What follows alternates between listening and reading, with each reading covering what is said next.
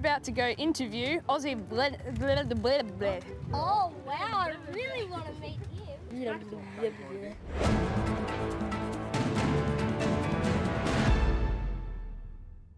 I'm Flynn, And I'm Mitch, and, we're, the AO 2023 Junior Reporters. It's AO Kids Tennis Day. And we're about to go interview Aussie tennis legend Matt Ebden. What qualities do you look for in a doubles partner? The doubles partner, uh, try to find someone better than myself or than yourself so that uh, they can carry you. Do you like the crowd getting involved? 100%, yes. Uh, I mean, especially in doubles, of course, always in singles too. And how do you handle all the travelling that you do throughout the year? It's tough. These are really good questions.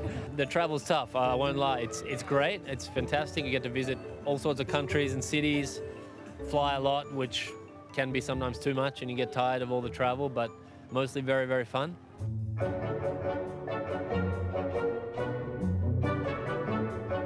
How does it feel being the reigning Wimbledon doubles champion? It takes my breath away a little bit when you ask that question. Actually, it still um, makes me shudder a bit in the heart. Any tips for playing with my brother? Whoa. the brother one's not so easy. I, I have a sister who I used to play mixed doubles with. Be each other's friend, be nice to each other, and you know, you're teaming up, so you're doing everything you can to beat the opponents, not each other.